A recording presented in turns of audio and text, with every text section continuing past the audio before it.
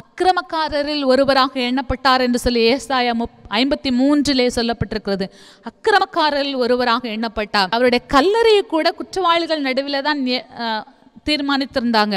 ஆனால் தேவனுடைய திட்டம் ஆதியாகமத்திலே யாத்ராகமத்திலே எண்ணாகம் லேவியராகமத்திலே சொல்லப்பட்டபடி ஏற்கனவே தீர்க்கதரிசிகளால் முன்னறிக்கப்பட்டபடி அவர் மறித்தபோது ஐஸ்வர்யமானவோடே இருந்தார். அவர் மறித்தபோது அர்மத்தேயு ஊரான யோசிப்பு மரியாள் இவங்கெல்லாம் வந்து பிலாத்தனிடத்தில் அவர் சரீரத்தை வாங்கி அவருக்கு செய்ய வேண்டிய எம்பால்மிங் எல்லாம் செய்து அந்த அவனுக்கு வைக்க அவனுக்காக வைத்திருந்த அந்த குகையிலே அவர் அடக்கம் பண்ணப்பட்டார் என்று வேதம் சொல்லுகிறது. அப்போ ஐஸ்வர்யமானவருடைய அவர் அடக்கம் பண்ணப்பட்டார்.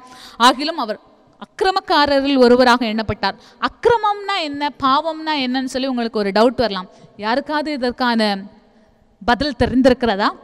பாவிகள் எல்லாரும் அக்கிரமக்காரர்கள் அல்ல. ஆனால் அக்கிரமக்காரர்கள் எல்லாரும் பாவிகள். குழப்புறேன்ல? சரி. பாவம் என்று சொன்னால் நீங்கள் இயேசுவை ஏற்றுக்கொண்டாலும் இயேசுவை ஏற்றுக்கொள்ளாமல் இருந்தாலும் நீங்கள் தேவனுக்கு விரோதமான பாவம் செய்ய முடியும். வேதத்திலே சொல்லப்பட்டிருக்கிற அந்த சட்ட திட்டங்களையும் அந்த ஒழுங்குகளையும் அந்த கற்பனைகளையும் கை கொள்ளாவிட்டால் அது பாவம். செய்ய வேண்டிய இதெல்லாம் செய்யணும் அப்படின்னு ஆண்டவர் சொல்லியிருப்பார். அதை நீங்கள் செய்யாதிருப்பீர்கள்னு சொன்னால் அது பாவம். செய்ய வேண்டான்னு சிலது சொல்லியிருப்பார்.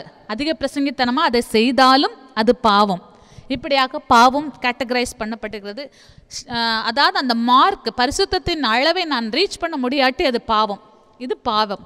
அக்கிரமம் என்று சொன்னால் ஆண்டவரே இல்லை மதியினமாய் ஆண்டவருடைய தெய்வத்துவத்தையே எதிர்க்கிறது. கடவுளே இல்லை. அவருக்கு கண் இல்லை காதில்லைன்னு சொல்லி ஆண்டவருடைய அந்த தெய்வத்துவத்தை எதிர்க்கிறது அக்கிரமம். பாவிகளுக்கு மன்னிப்பு உண்டு. அக்கிரமத்துக்கு கொஞ்சம் கஷ்டம்தான். ஆனால் அக்கிரமக்காரில் ஒருவராக எண்ணப்பட்டால் நம்முடைய அக்கிரமங்களுக்காகவும் அவர் மறித்தார்